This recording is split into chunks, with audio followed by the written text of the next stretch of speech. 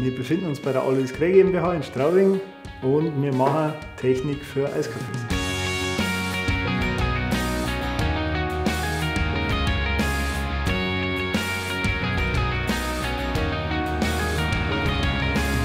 Eisdiele ist halt nicht nur äh, Aufsperren und Eisverkaufen, sondern ich brauche die richtigen Geräte, die passenden Geräte, die passenden Arbeitsabläufe.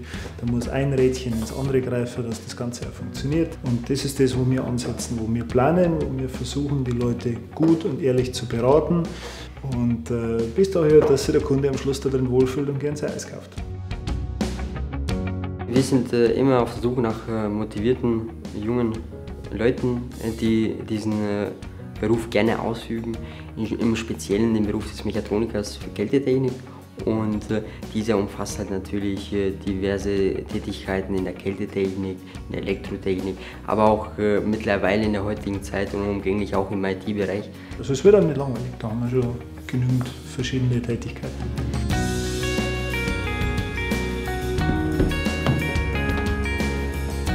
Was ich von einem neuen Kollegen erwarten würde, das ist natürlich in erster Linie Teambereitschaft, das ist Zuverlässigkeit. Wir brauchen Leute, die äh, selbstständig arbeiten, die anständig sind und die am besten auch bei so einer kleinen Firma wie mir das sind, menschlich einigermaßen dazu passen.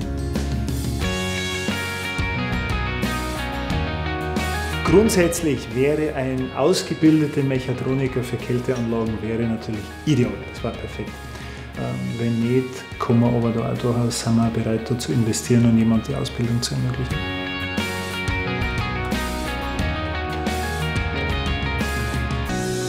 Ja, dann, falls es irgendjemand gibt, der sich angesprochen fühlt von dem, was wir sagen und der unser Team gerne verstärken möchte, egal ob als Auszubildender oder als fertiger Techniker, da wir uns natürlich freuen und äh, freuen uns schon auf ein gegenseitiges Kennenlernen.